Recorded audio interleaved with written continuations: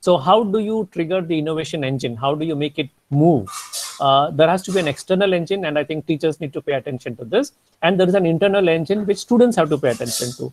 So what is the external engine which is provided by the institution? We need to uh, you know, cultivate that culture of innovation, right? Where this is really uh, uh, encouraged, which is uh, really fostered in your in your institutions.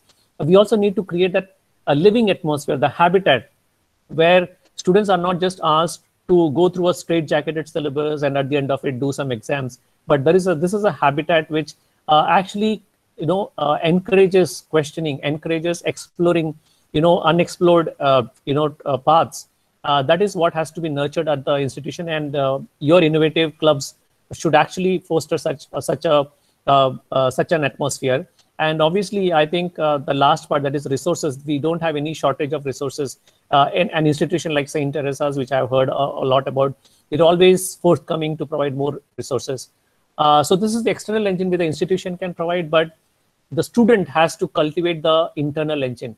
Uh, the internal engine is uh, consisted of uh, knowledge, attitude, and imagination. Uh, I don't know whether the students can unmute or maybe uh, any of you who are able to unmute. Uh, you can uh, reply to this of knowledge, attitude, and imagination which a student has, which is most important for imagination to happen. For great innovations to happen, you have to have the right attitude.